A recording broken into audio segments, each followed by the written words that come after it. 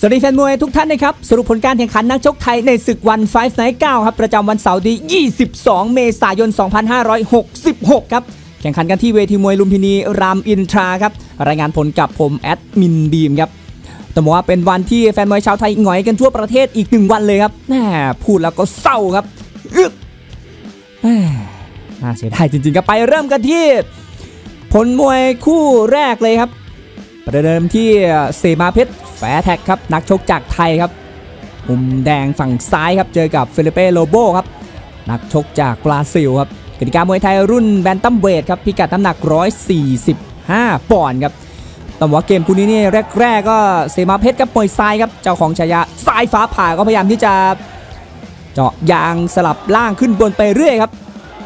ตัดสลับเพื่อที่จะทำลายจังหวะครับ การบุกของทางฟิลิเป้โลโบครับ วันนี้ต้องบอกว่าเซมาเพชรนี่ก็มาแทนเฟอร์รารี่ครับ วันจังหวะนี้มาได้นับก่อนครับยก 2 ครับแหม่ได้นับแปดในยก 2 ครับ โอ้โหเป็นจังหวะที่หมัด uppercut หรือว่าหมัด uppercut ซ้ายครับ ส่งเอาทางด้านของเฟลิเป้โลโบครับร่วงลงไปโดนนับ 8 ในยก 2 ครับ จากนั้นก็พยายามจะลูกไล่ครับกะจะปิดเกมครับสำหรับเจ้าเปิ้ลครับ นักชกเหนือครับเชียงใหม่เชียงรายครับ แต่มาเก็บตัวฟิตซ้อมอยู่ที่ประจำการอยู่ที่พัทยาครับค่ายแฟร์เท็กซ์ครับ ของคุณเปรมครับดูครับฟิลิเป้พอโดนนับแกก็ตั้งหลักได้ครับขณะที่เซมาเพชรก็หาจังหวะที่จะรอปิดเกมครับ จวนแล้วจวนรอดก็จังหวะก็ยังไม่มาอีกสักครั้งหนึ่งเลยครับได้นับ 1 ตุนในยก 2 ครับสุดท้ายก็เนี่ยฮะครบยกไปในยก 2 ก็ ดูว่าสถานการณ์ก็ดูได้เปรียบครับ หลังจากนั้นครับยก 3 นี่เฟลิเป้โลโบครับไม่มีอะไรจะเสียแล้วครับพยายามที่จะเดินเอานับคืนครับแต่ว่านี่ไม่โดนมัดซ้ายครับย่อไปเหมือนกันครับอืมโดนมัดซ้ายอีกแล้วครับ จากนั้นเซมาเพชรก็จองจองหมัดซ้ายหมัดซ้ายไม่โดนครับแม่จังหวะยังขาดขาดเกินเกินครับขณะที่เฟลิเป้โลโบก็ล้อดักอยู่จังหวะนี้เป๋ครับดูครับเซมาเพชรโดนยังเลยครับดูครับนี่ฮะไปแลกไปบวกเพลินจนสุดท้ายเนี่ยหมัดของฟิลิปเป้โรเบจะแม่นยำกว่าครับดูครับ แลกกันครับดูครับซับไปดูเอาตื่นตีซับโอ้ดูครับตอนนี้นี่กลายเป็นมวยสากลไปแล้วครับดูครับแลกหมัดแลกศอกครับดูครับดูครับจังหวะนี้มาโดนดัดควายครับหมัดซ้ายหัวปักโอ้โหอาการไม่ดีครับพยายามที่จะกอดครับ ยกสามนี่ต้องบอกว่าอาการไม่ดีครับจนแล้วจนรอดสุดท้ายก็มาประจวบเหมาะที่จังหวะโดนหมัดอีกทีครับ มีอาการเริ่มเอียงเริ่มเอ็นครับโดน หมัดซ้ายครับหมัดซ้ายทีหมัดขวาแล้วก็ค่อยๆร่วงลงไปครับโอ้โหจบเลยครับยก 3 ครับ ดูครับช้าครับแม่ได้นับตุนได้เปรียบอยู่แล้วครับ พอมายก 3 ไปบวกไปแลกหน้าเปิดครับจังหวะที่บวกแรกกันนี่เป็นทางด้านของเฟลิเป้โลโบจากบราซิลนี่แม่นกว่าครับโอ้โหส่งเอาสายฟ้าผ่าวันนี้นี่โดนผ่าซะเองครับเซมาเพชรครับแม่ายน็อกไปในยกที่ 3 ครับ ก็เป็นใจให้กับเซมาเพชรครับ สู้ต่อไปครับน้องชายครับแหม่สงสารจับใจครับฟิลิเป้โลโบครับชนะน็อกยก 3 พร้อมกับคว้าโบนัสประมาณ 5 0 0 0 0อ่า50,000เหรียญดอลลาร์ครับ ก็ตีเป็นเงินไทยก็ประมาณ1ล้าน7แสนบาทครับ ไปต่อกันที่คู่เอกครับ เป็นการชิงแชมป์โลกมวยไทยรุ่นแบนตัมเวทครับ145 ปอนด์ครับน้องโอฮาม่ามวยไทยนักชกจากไทยครับเจ้าของแชมป์ครับ ป้องกันแชมป์มาแล้ว 7 ไฟต์ไฟต์นี้เป็นไฟต์ที่ 8 ครับ เจอกับโจนาธานแฮกเกอร์ตี้ครับนักชกจากสหราชอาณาจักรครับหรือว่าอังกฤษครับ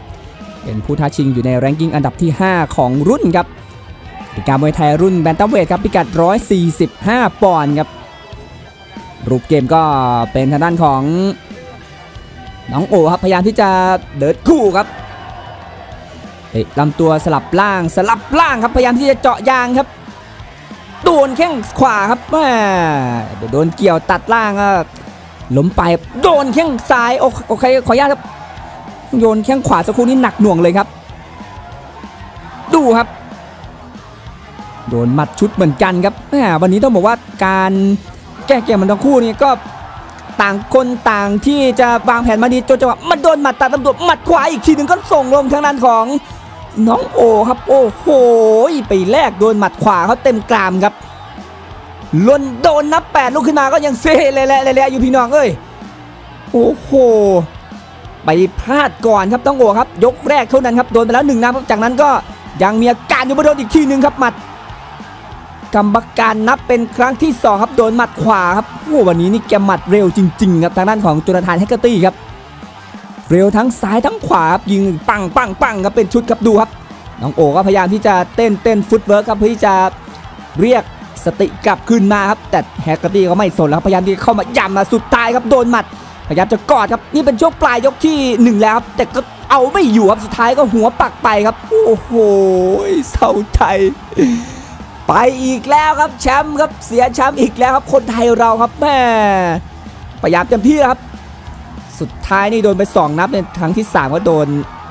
ไม่ลุกเลยครับ ดูว่าพยายามที่จะกอดไว้เพราะประมาณอีกสิบวิสุดท้ายครับของยกแรกนี่ถ้าละครั้งหมดก่อนน่าจะมีลุ้นนะครับ โดนหมัดขวานี่หัวทิ้งเลยครับ โอ้โห สุดยอดจริง ๆ ครับ เหมือนว่า การที่ได้รับชัยชนะครั้งนี้ของทางแฮกเกอร์ตี้นี่ก็เป็นผลจริง ๆ ครับ เจ้าตัวนี่ลงทุนข้ามน้ำข้ามทะเลครับ มาเก็บตัวฟิตซ้อมอยู่ที่เมืองไทยที่ภาคใต้ครับ รวมๆ10 สัปดาห์ครับก่อนชกนี่แฮกเกอร์ตี้เองก็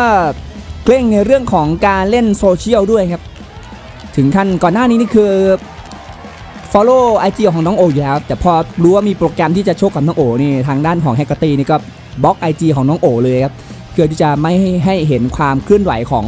ของตัวเองนะครับ เพื่อเป็นการปิดกั้นคู่ชกนะฮะก็ต้องยอมรับจริง ๆ ครับวันนี้นี่เขาเตรียมตัวมาดีครับ สุดท้ายครับราชันฆ่าไม่ตายนี่สุดท้ายมาจอดป้ายที่ไฟที่ 8 ครับของการป้องกันแชมป์ของน้องโอครับก็เป็นกำลังใจครับให้กับพี่โอครับกลับมาแข็งแกร่งครับแล้วก็ comeback กลับมาทวงบัลลังก์แชมป์คืนในอนาคตให้ได้ครับนี่ฮะหมัดมวยก็อะไรก็เกิดขึ้นได้จริง ๆ ครับ โอ้โหสู้ๆแล้วกันครับพี่ครับ ก็แสดงความยินดีครับ กับทางด้านของโจนาธานแฮกเกอร์ตี้ครับนักชกจากสหราชอาณาจักรครับ หรือว่าประเทศอังกฤษครับ เอาชนะน็อกน้องโอฮาม่ามวยไทยไปได้ในยกที่หนึ่งครับ พร้อมกับคว้าโบนัส1 0 0 0 0แสนดอลลาร์สหรัฐครับ ตีเป็นเงินไทยก็จุกๆไปเลยครับ ประมาณ3ล้าน5แสนบาทครับ ไม่รวมค่าตัวครับ โอ้โหโหต้องต้องยอมครับปรบมือให้เลยครับ สุดจริง ๆครับ ยอมคำแหม่ค รบเครื่องจริงๆครับ ความเร็วหมัดศอกครับ นี่ก็เป็นผลการแข่งขันศึกวันไฟส์ไนท์9ครับประจำวันเสาร์ที่ 22 เมษายน 2566 นะครับขอบคุณทุกการรับชมนะครับ ถ้าชอบคลิปมวยแบบนี้ครับฝากกดติดตามกดไลค์คลิปนี้ให้ด้วยนะครับ ติดตามการรายงานผลมวยได้ใหม่ในคลิปต่อไปครับ วันนี้ลาไปก่อน สวัสดีครับ